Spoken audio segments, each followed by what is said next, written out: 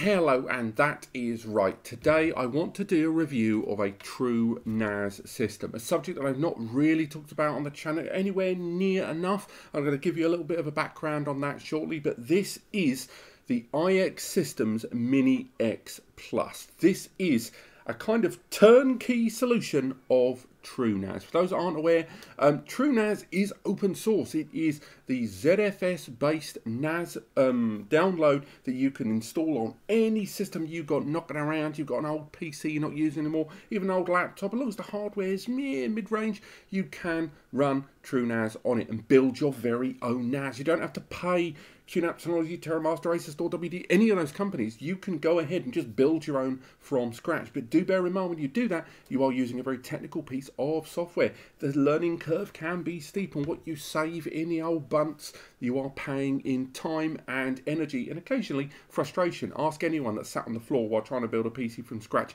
hoping beyond hope that when they press that power button the first time it's going to work. You know that feeling. Now, these guys have introduced a lovely middle ground there in the middle. You can have the flexibility and customization and security and all of that of TrueNAS, but on a pre-made solution. It's not the cheapest, it, let's be straight about this, but you are getting an enterprise-led solution. And in today's video, I'm going to talk about this system. I'm going to talk a little bit about iXsystems. I'm going to talk about things that I like about this system, maybe things I'm less keen on, to be perfectly frank. And of course, we're going to talk about TrueNAS. A number of you over the last year, year and a half have asked me, why am I never talking about TrueNAS? I only ever talk about these different brands in data storage. And although I talk about lots of data storage when it comes to NAS, I've actually got a lot more of a narrower field of brands that I talk about.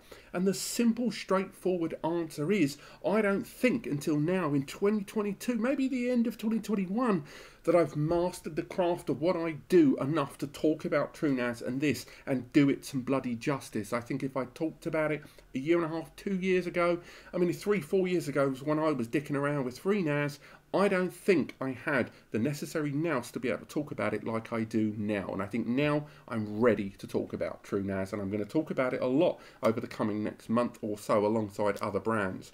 Now, the first thing you may notice is you know, this is a review. Where's the box? Why am I not doing an unboxing? Well, I'll give you a straight answer on that one.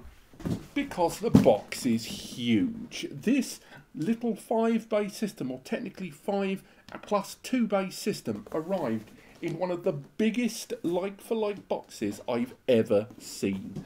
Inside was an absolute sea of packaging. It arrived with the hard drives inside, supplied by IX themselves, obviously. Um, and inside was five hard drives, WD Red hard drives as well, and a couple of SSDs. And we will talk a little bit about that pre-made architecture. But again, a huge degree of protection there for the system when it was sent over. I mentioned earlier on about pricing on this system. Now, there's good and bad news behind that. When you, because again, although this video is going to be about TrueNAS, I, this review primarily, I've done a whole dedicated review to just the latest version of, uh, not the beta release of 13, but on 12. Um, are coming very, very soon. This video is about the hardware on this IX system and a little bit about TrueNAS overall. Um, this system in its current architecture retails for about $1,100, I think, in this. Now, for that, you're looking at the 8 core um, Intel CPU inside there. It's also got 32 gig of DDR4 ECC memory, uh, memory error code correction. It's also got two 10 gigabit Ethernet ports there on the rear, and it's got five dedicated SATA hard drive bays and two 2.5 inch SATA SSD bays there. And again, this system arrives with the ability to pretty much configure it from the ground up from them. So if you were already kind of in love with the customization and the flexibility of TrueNAS, but you didn't want to have to build the thing from scratch, think about power efficiency and getting the right components and an architecture. And one of the reasons you liked NAS is they arrive in all these nice cases. This is where that middle ground is, but you are going to have to pay a bit more for it. But there's a large amount of customization on their website there. Now, first, let's talk about design of the system. Let's actually break down into that immediately. So, it is you know, fairly robust looking. It is a metal chassis all the way around. I will be powering it on before the end of this video. Metal base, metal all the way around. No ventilation on the sides there. The front is completely ventilated there. And on the rear, we've got a further active cooling fan there. We'll talk a little bit more about that later on. But if we open the front door of this, again, it is lockable. I've left the keys in the accessories. We'll talk about those in a moment. What we have is five SATA bays there. Let's turn that around so the light can have a good go at it. We've got the five individual SATA bays there, each of which is ventilated. Remember, the door is lockable. Each of these trays is lockable.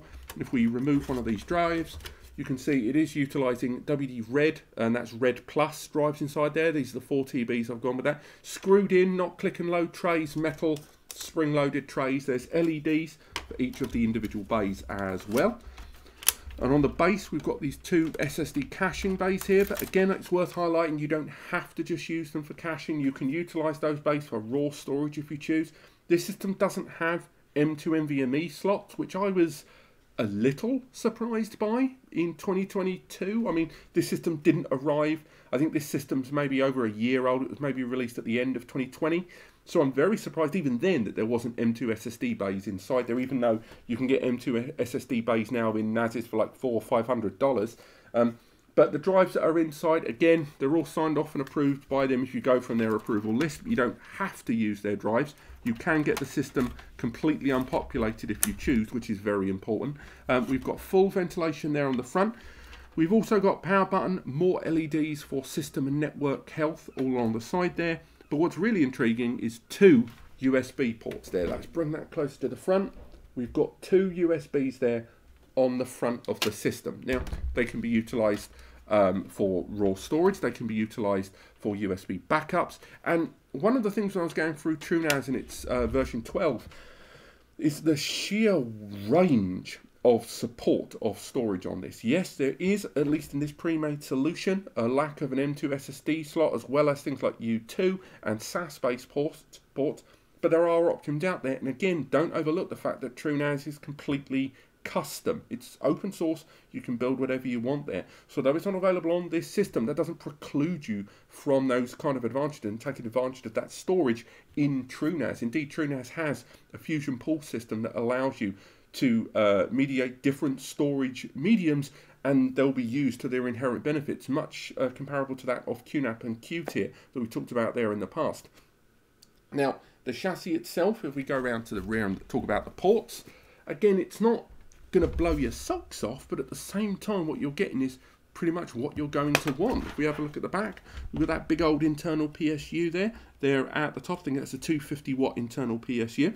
Got the system fan there on the back. On the base, we've got an M2 up, uh, we've got a PCIe upgrade slot there of three times four. So again, you can add some more up to, you know, a potential maximum 4,000 megabytes per second bandwidth across external interface ports there you put. We've got the two um, 10 GBE M2 slots. You've also got an out of bounds management port there as well, which might be useful. You have additional USB there and you've got a VGA, something I was really confused by. And if anyone that watched the Q&A that I did with IX a little while ago, I was kind of surprised at the use of VGA on there uh, on this system. Now, don't get me wrong, I understand it's not an embedded graphics processor, so putting HDMI or something on there would be tough, but it wouldn't be impossible. And when it comes to TrueNAS, I think unlike a lot of systems from say Synology and QNAP, that their graphical user interfaces, but a big old emphasis on the G in graphical. In the case of TrueNAS, there's a very even line between the GUI of TrueNAS via your web browser and command line control, SSH, that sort of thing.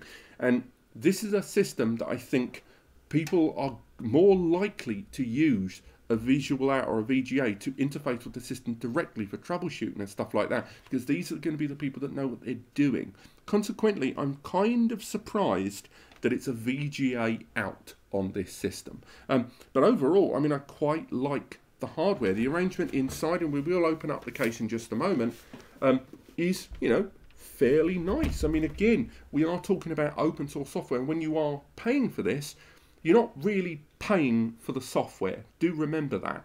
Unlike when you are buying a Synology or a QNAP system, and let's, for example, bring ourselves a QNAP, if you were looking at a comparable QNAP like this one, This QNAP here, the TVS872X, this is a 10 GBE system, and again, they're not like for like, um, but with these two systems, when you buy the QNAP, you're buying the hardware and the software together, and that's included in the price there. And this system here knocks around for about 12 to 1400 pounds depending on where you buy in the world and what configuration you go for. And this is a 6 core i5 I believe. Now this system here the software is open source. It's free. There are tailored extras that are built in, it has to be said, towards um, IX in the application center, for example, there's a pre-designated drop-down. There's a couple of graphical user interface options that you only get with the IX version of this system. But still, nonetheless, the software, for the most part, is software that you can get for free. So when you're paying that price tag there, do bear in mind with that price tag that what you're paying for is majority like 80 90% hardware. They do pre-install it and they do a lot of the work for you and it's ready to rock off the bat. But still nonetheless with the software living inside i believe on a sata based flash dom inside that it reads from much like nas's used software flash inside that the majority of the money you're paying towards it unlike qnap there is for a change a lot more towards hardware and software. And then you look at synology and with Synology, yes, again, you are buying a hardware and software solution there. This is uh, the 6 bay here. Um, and with this one, this system here, you are still paying more for the software than the hardware. And this system here at the top, the 1621, knocks around for about seven, eight hundred quid. There is a 10 GBE version, uh, the 1621 XS Plus, and that knocks around for about 15 or 1600 nicker. And again, none of that is including media. And this is a system, again, hardware software solution. So the hardware inside this, that 8 core processor, 32 gig of ECC, and the drive media included, because remember, that makes all the difference. The drive media you're utilizing, remember, in terms of flexible pricing, you do still seem to be paying a little bit more than you think you should for that hardware. But again, you are getting a pre-made solution overall. Um, another thing worth bearing in mind about this system when it's operational, when the seagulls aren't being super annoying above me, is how much noise it makes when it's in operation. So if we power this bad boy on, remember this is a completely metal solution, metal all the way around, um, optical hard drives inside there. So if we power this on, get it turned on, get that power button, there we go. And you can have some idea about the noise level.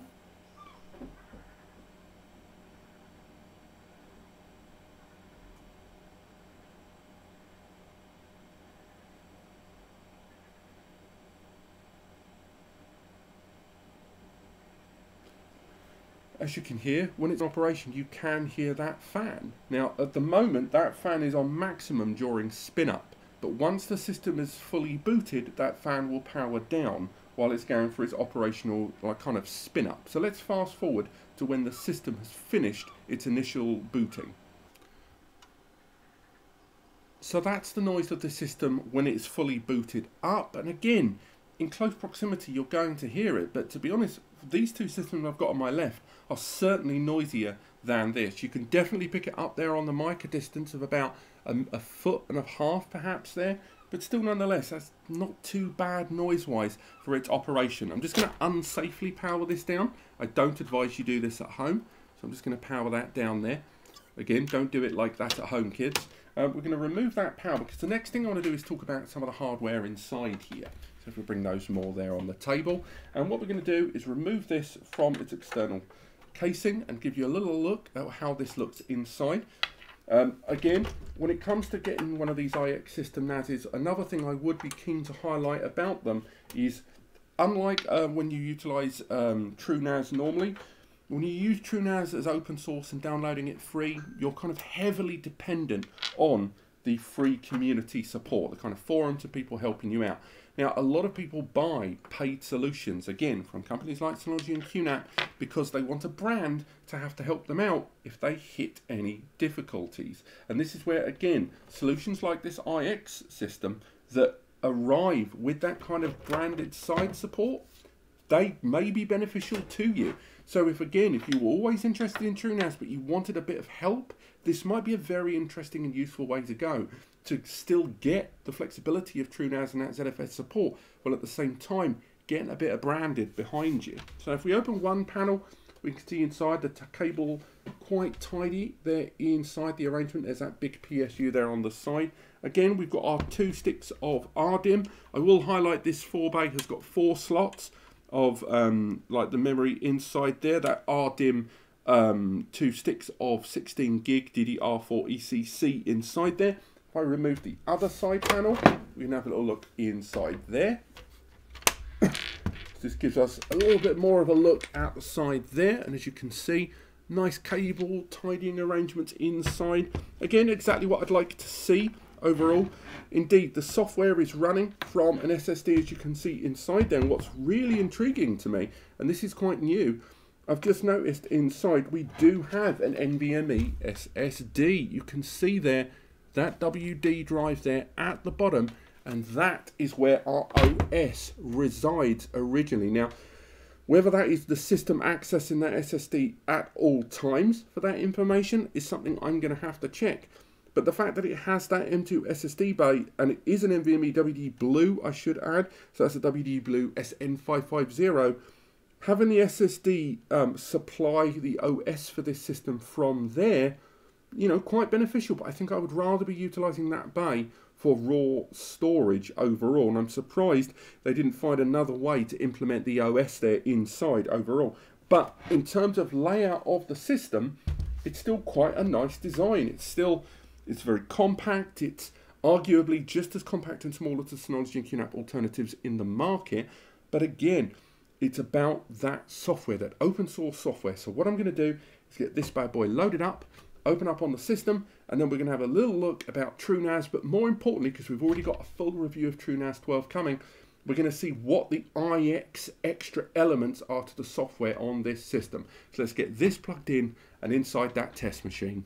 Okay, so here we are on the desktop utilizing the graphical user interface of our IX system X Plus. Now, bear in mind that the difference between utilizing this system uh, from IX versus building your own one, the details are actually quite small. I've got a full review of TrueNAS well underway. It may already be published, in fact, but for this system, it's worth bearing in mind the small differences between the IX and a standard do-it-yourself TrueNAS there. First and foremost, you've got the link there directly to the guides there at the top right of the screen. And again, that goes directly to iXsystems. And then there at the bottom, you can open up a tab there to open up into the guides to help you along with the setup. There's not a lot of video stuff there, but I do know they do post a lot of videos online on setup guides. Uh, on top of that, if you go into the system area, you can view the enclosure, because obviously you are now using a system where the enclosure uh, is uniform, and therefore they can find out more information about it. And indeed, if you go into the storage area, you're able to find out more information about those individual disks.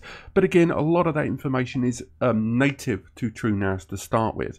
Um, one area that is worth highlighting that is unique, I believe, to the IX system is when you want to go down to the support section. From here, you can find out a lot more information about getting a little bit more hands-on reporting and support from TrueNAS themselves as you are kind of a premium user there. And again, you've got the information there. You will have to create a JIRA account and attach a, a, a debug report but again, that's an extra little layer of uh, information there that's quite useful for tracking issues. But again, I think most of it is directly for IX. Again, maybe someone out there can tell me if this is something that's been recently added to even the free tier of um, TrueNAS systems there. Now, again, we could go a little bit through TrueNAS, and I've got the full review coming. I'm sure a number of you have used it before. Um, everything from the user interface giving you a huge amount of information with regards to resources when the system is in utilization. Some you know things that are just not available on other platforms. For example, the ability to monitor historical information on, say, for example, every single drive on screen. Yes You've got that with um, Active Insight from Synology, and you've got that with um, the um, um service from QNAP. But those are premium subscription services, and this is included with your system the ability to go back in time and go through some of your old reports. Then again, that can extend to the majority of the system. On top of that, um, everything from installing those plugins because there are now more plugins. It isn't just the plugins you get with the IX system listing there because they've added these ones directly. But of course, you can switch to the community supported applications, of which there are plenty there in the background. Forgive the slow loading of icons there. I'm using the internet to do some uploading there in the background. Same goes for virtual machines. Um, there isn't really anything extra from the um, IX side of things. They haven't included like some ISOs like QNAP do on some of their virtual machine downloading issues there, but it's it's fine. It's absolutely fine there. The ability to create jails, you know, uh, that's all native to TrueNAS. Everything about it, like you are getting a true NAS experience here, but it just comes back to what I was saying earlier on about when you are utilizing this and you are purchasing an IX NAS, you are predominantly paying for that hardware more so than anything. To put that into a little bit of perspective there, um, here's the official TrueNAS Mini page. As you can see there, lots of information about the WD drives that are installed and stuff like that. And let's say, for example, the TrueNAS system here, you can go to the configurator, and there you can see we've selected the X system there, although there is a more affordable E system. And again, you can find out more information about their individual specifications throughout the range directly from them. But say, for example, you go for a configuration where you go for my configuration, which is an 8 core 32 gig of memory setup there. And then from there, we populate the bays. Um, we'll go for populating four bays. Let's go for that. For four bays, and we're going to populate those with 4 TB drives, not 18. That would be foolish. So 4 TB drives. And then from there, we would populate the SSD bays from you know you're starting to see already that that price is starting to mount up it is good hardware. And if you tried to buy a solution like this, including the enclosure at 10 gigabit Ethernet, it wouldn't be too shabby, but it would still maybe cost a little less than that. And I think for me, as much as I like TrueNAS, and I do genuinely like what the IX system solution is here, it's providing TrueNAS and turnkey solutions as a complete item. Still nonetheless for me, I kind of wish the price was a little lower because TrueNAS on its own is pretty unparalleled. Everything from uh, the enormous storage advantages that it brings, everything from faster RAID builds to faster rebuilds using that percentage um, of uh, data used building algorithm. Um, when we talk about the caching, there's so much better caching systems built into TrueNAS than most of the other platforms, even RAID resilvering and simple stuff like that. But Nonetheless, we are here to review the hardware today, not the software. Let's make our way back over there and talk a little bit more about this hardware. So overall, what do we think? I think IX and what they've done here is an interesting middle ground. I think for those of you that have been utilizing, you know, more affordable NAS platforms or been utilizing NASs and really over the last few years have learnt the ropes of network and data storage and are now thinking I want to get my hands dirty on something a little bit more aggressive, a little bit more powerful, a little bit more customizable now I know what I'm doing. TrueNAS is always and has always been a very viable option. But this review was never just about TrueNAS. It was about these guys and what they're presenting. Are they presenting a turnkey alternative to trying to learn TrueNAS from the, the ground up and build your own machine? Or are they basically flogging you free software? And I think it's pretty much the former. I like what I've seen so far. I think the fact that it was able to run straight away at the click of a finger was advantageous. When you look at the package that they send through, they're taking it seriously. Even the accessories. I didn't really talk about that from the detailed manuals and setup guides, something that you don't get from other NAS brands. Um, a lot of the storage media and the way it was packaged was expertly presented. Even things like the LAN cables. We got Cat 6 cables here at 3 meters a pop. Unusual power cable, screws, more information, setup instructions. There's just a lot more information here ready and available to you, you know, than most NAS systems out there. So fair play to them. They haven't just tried to just flog you some old bit of hardware kick and slam on some free open source software on there. I'm sure there's lots of places on eBay and the like where you can find people flogging um, ZFS ready servers there with a six month warranty slapped on top of it. At least with these guys, I am genuinely getting the impression that one, this is an enterprise product, and two, that they will help me out and have my back when I'm in stuck. I think the pricing is a little bit higher than I'd like. I know the target market they're aiming for there. I think the pricing is maybe 10 to 15% too expensive for what it is.